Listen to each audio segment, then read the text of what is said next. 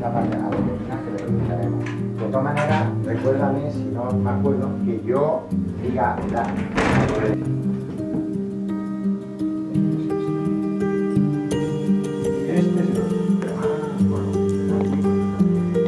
Pidieron tres, hermano, ¿no?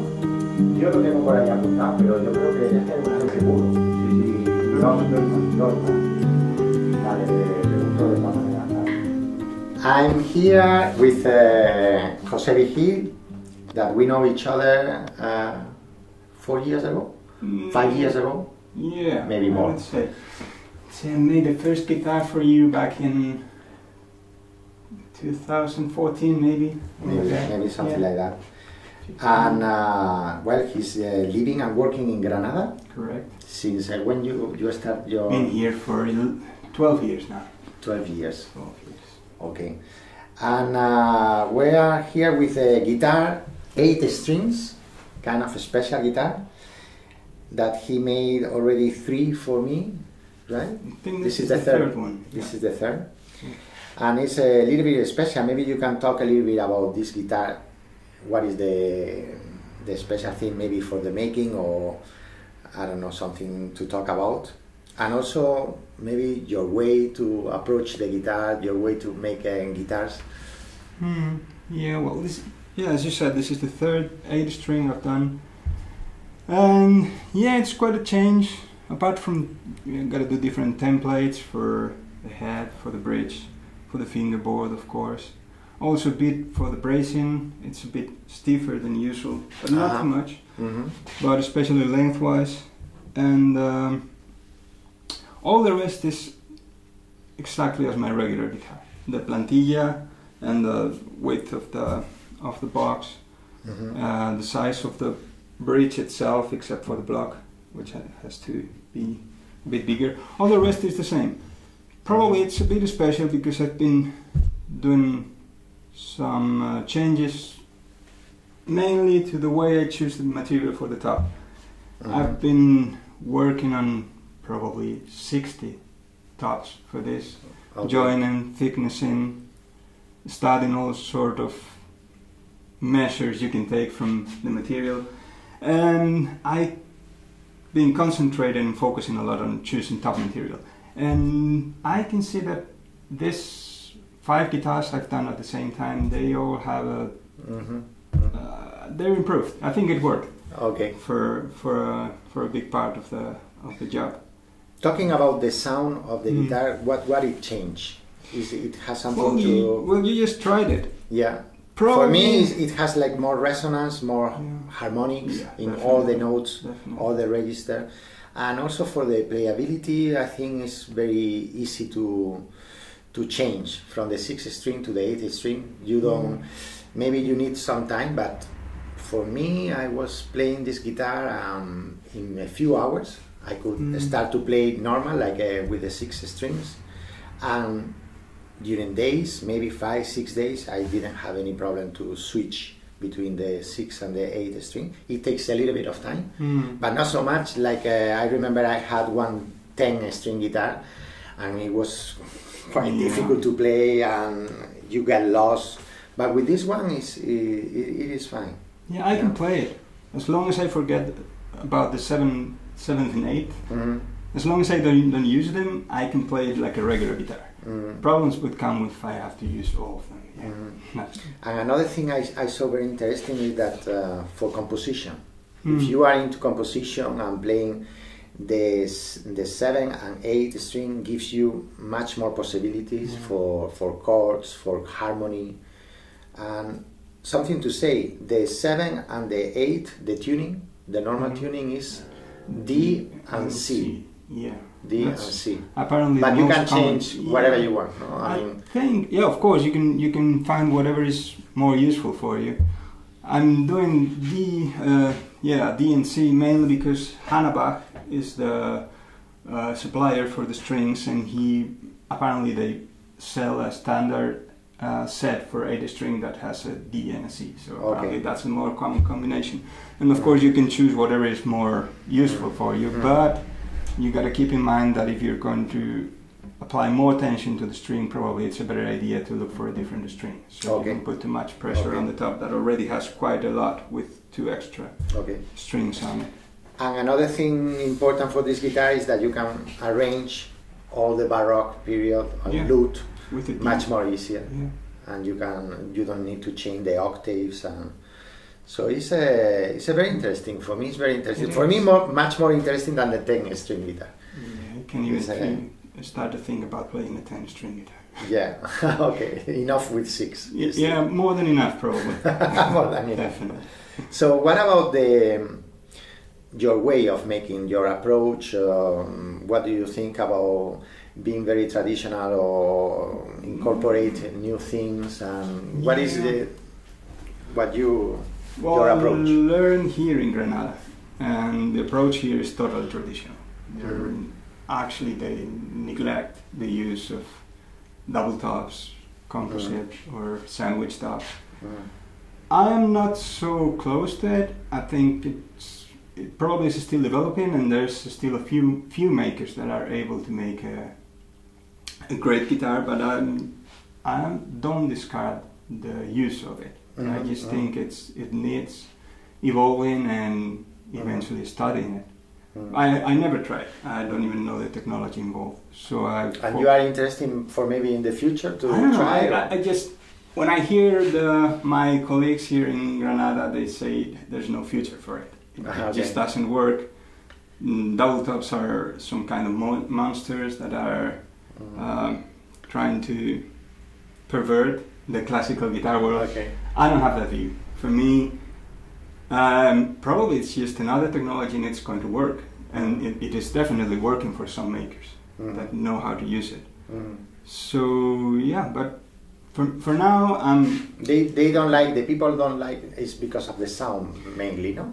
The sound is very different, very kind of synthetic for some Yeah, people. Yeah, I'm I, I don't have any I think problem. it's more or less the same with traditional guitar. You can get a super loud traditional guitar that sounds like a banjo, or Mhm. you can get a beautiful sounding guitar that is not loud enough. Mm, Uh, probably when you switch to the double top world, you have more of the super loud guitars that sound like a banjo. Probably. mm, mm. But there, it's a matter of controlling the different aspects of what is involved. And great makers can make a great guitar, probably Yeah. with any Mhm. kind of technology. And, Mhm. So what what do you think is the main feature? I don't know. Maybe you you don't want to talk about your own guitars, I- but uh, what do Um, what what do you search for, or what would you, you expect to get from from your making, and or what you discover also during all these years that you are making guitar that uh, kept your attention? Well, first of all, the, the voice of the guitar has to be beautiful. It has to sing with a beautiful voice. Mhm. Second, you need a minimum amount of volume out of it, Mhm.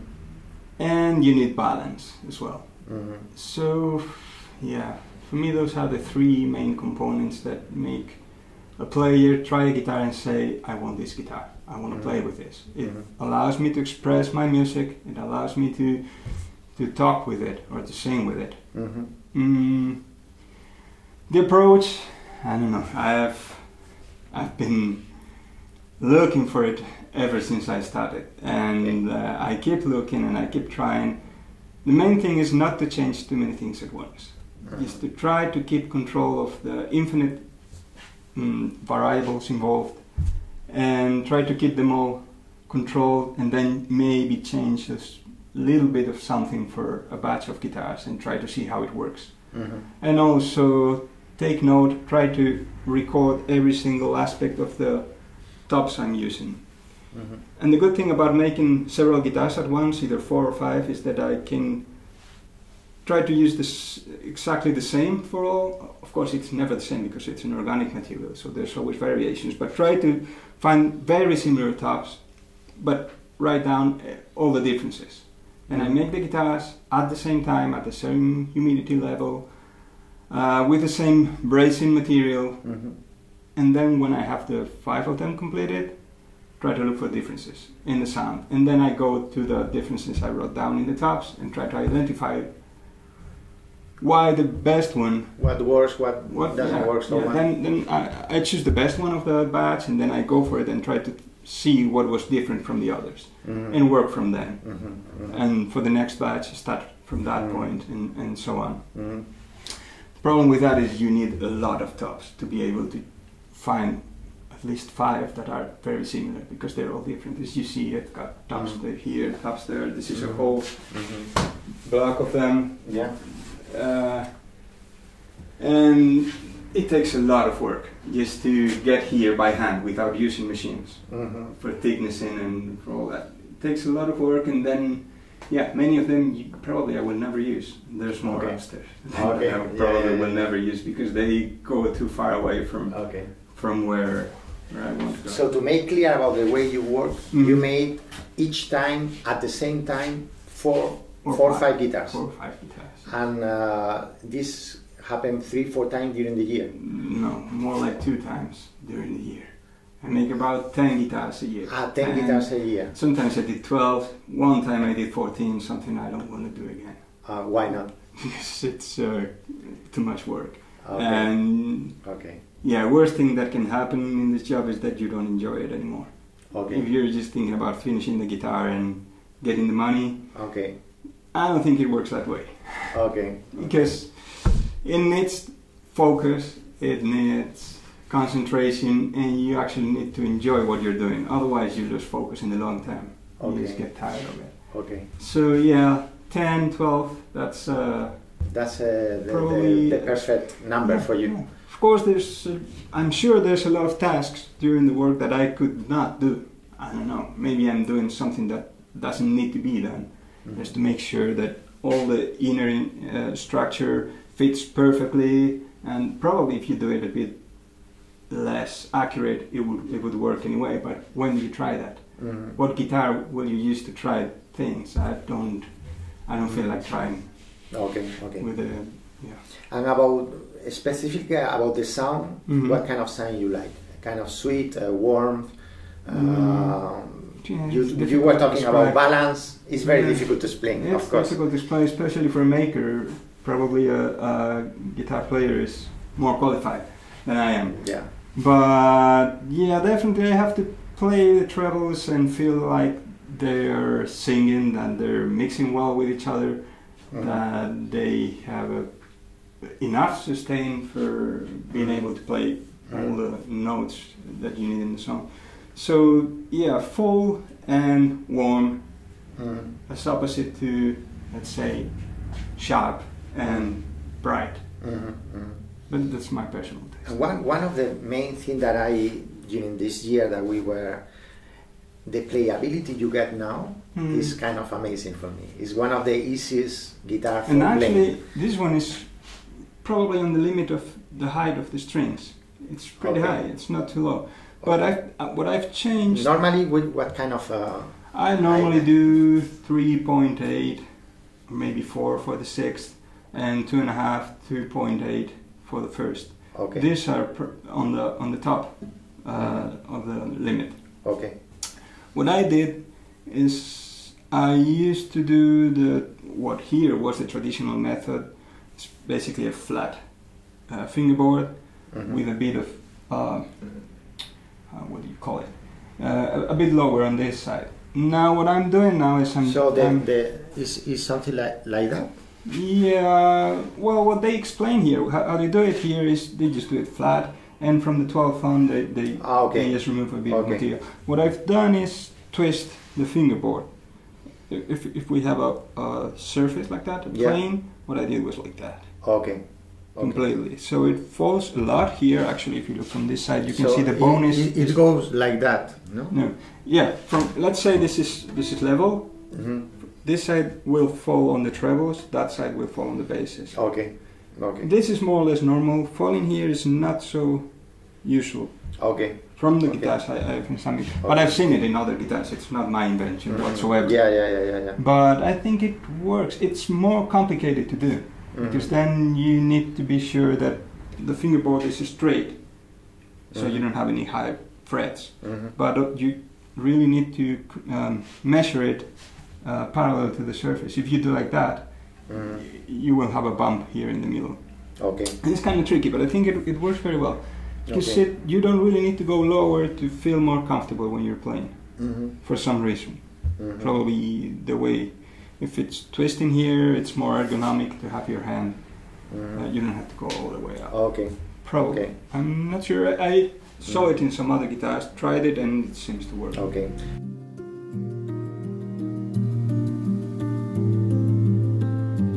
And uh, keeping talking about playability, can you explain a little bit because I is I found it extremely um, easy to play and, and perfect the neck.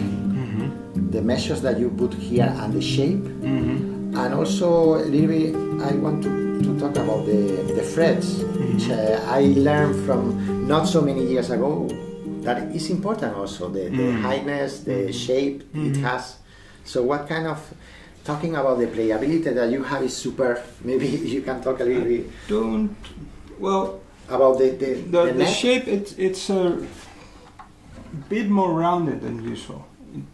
It used to be. Um, uh, I used to do f- uh, flatter neck.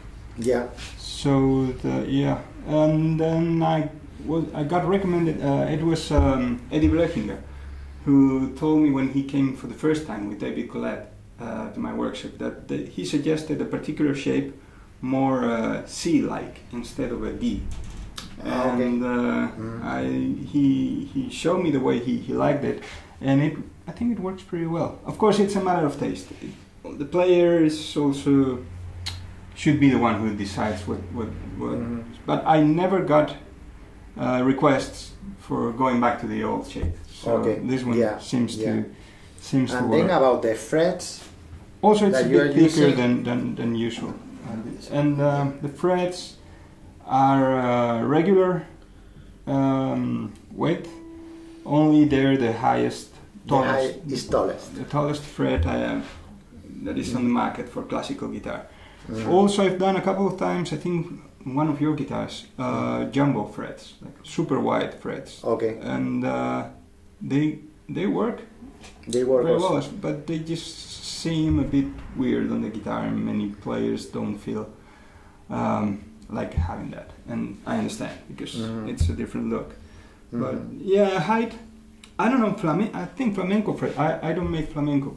Almost no flamenco guitars, but Mhm. um, you made one for me. I made one for you, and I'll be making two. next Okay, year, okay. two more. Okay. Uh, but um, I, I think they say they prefer um, uh, lower frets. Yeah, because of the Know. slurs. Because you use a lot of slurs and it's Okay. easier. Easy I think it doesn't work for flamenco, this thick and tall, but it works very, very good for classical guitars. I Okay. think, that they don't have so much uh, slurs. Oh, and also, I use the, the hardest material you can find. Okay. And, well, Okay. it, it's not a stainless steel. You can actually use stainless steel, but uh, it, uh, then you have problems with the tools and so on. okay. But it's the regular nickel silver that you find, but just the, the hardest one the hardest. you can get in the market. So it, um, I think it helps. Probably with the tone. That's a, Yeah. who knows. Yeah, yeah, yeah, yeah. He- And um, I never asked you, but how old are you? oh, If, I- if, you, if it's just- possible to uh, say. Yeah, sure. I have just turned forty. 40. So it's kind of uh, young, but you are already, youngish. I think you are already a big name in, in the guitar Wow. world with uh, guitars all over the world. Well, And with a lot of, uh, for me, is I really love your work. And, and the sound and the playability is amazing for me. Thank you. But um, what what kind of thing mm, a guitar maker, which is uh, I think is young like you, what kind of thing you you expect for the next year? Oh, I mean, well, just being able to make the guitars I have on on my list. okay, That's enough, and and really, I don't think about the long term. Some No. people ask me, "Do you picture yourself in 20 years making guitar?" I, Yeah, yeah. I don't even have that as but if you are 20 years making guitar, do you have something that you are in your mind to, to search to, to, to get from that from this uh, profession and I don't know. It's such a struggle just to keep up with the work. It's Mhm. uh, just getting a guitar to be right in, Mm. or at least in all the aspects that you want to achieve, that's hard enough Mm. to, to think about the future. I mean, Okay. you're always looking for what works, Mhm. and you want to take that and try to go on from there. I don't make a big plan long term and try to think about a crazy project or a totally different thing. I'm just Okay. working on what I have and try to improve it, and that's hard enough. It's Okay. It's uh, Do you think it's a profession that you keep for the whole life? definitely as it is now. As it is now. I mean, Mm. probably I, I don't know about the violin world Because you, for example, know quite well uh, Marin Montero, yeah, which is, uh, I don't know, 200 meters or 100 meters from Right. here, around the corner. right in the corner. And uh, even with uh, now, she's uh, he's uh, 87 or 86. He'll be 87 next week. Yeah. You think he's keeping the same kind of? Oh, I'm going to try this. I'm going. I don't know. I think he does. I think he does. Mhm. And uh, probably you, you, if you want to d- make guitars and make good guitars, you that's in you. It has to be. If Mhm. you have to struggle, if you have to fight against all these sort of uh, things that arise during guitar making, you really need to like it. And if you like it, you want to do it better all the time. Yeah. Otherwise, I would have quit. If I had to do it for just this, any other job, that's that's too much. Because Okay. if you want to do it right, I mean, Mhm. and if you want to do it right, you keep trying different things, and you keep Mhm. you want to you want to find out how it works. Okay. And they're they're not easy materials. They change too much. Okay. The top, yeah, yeah every top is different. Okay. That's what's so attracting in a way in sandwich tops. Mhm. because then you get rid at least of part of the organic material Mhm. and you get a synthetic one that at least in theory works the same every time Mhm. that would make such a big difference Mhm. Mhm. because it's probably everything on the top Mhm. Mhm. on, if you do everything else uh, correctly but Mhm. everything is in the top in the material you choose for the top Mhm. if you can get rid of all the changing grains and the tree that was in the shadow or all that, Yeah. if you can get rid of that and use a synthetic material, it makes it all Okay. very easy. Well, I'm simplifying a lot, Okay. Okay. but I could imagine it could be a great advantage. Okay. So thank you very much for your time.